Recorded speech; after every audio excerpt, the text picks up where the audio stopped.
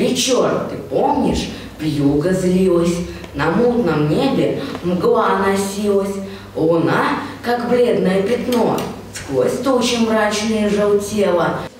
Платон учится в школе «Надежда». В конкурсе стихов такого масштаба участвует впервые. Но волнение тщательно скрывает и произведение великого поэта читает без запинок и с выражением. В этот день в Государственном историко-литературном музее в Изюмах проходит первый этап инклюзивного конкурса «Пушкинские встречи». В рамках этого проекта мы проводим бесплатные экскурсии для детей из Московской области, Москвы. И после этих экскурсий, вот прошло полгода, около 200 человек, 500 детей посетили эти экскурсии.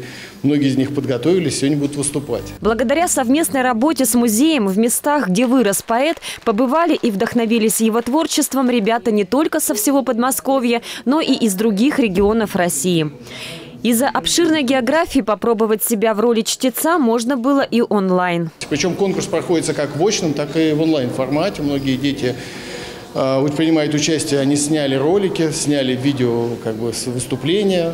Есть выступающие из Рязанской области, из Саратовской области. Конкурс вообще заявлен как международный.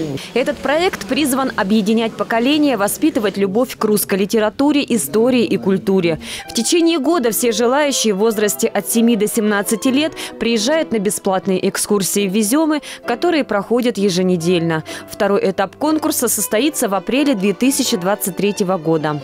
Полина Бахова, Станислав Трифонов, телекомпания «Одинцова».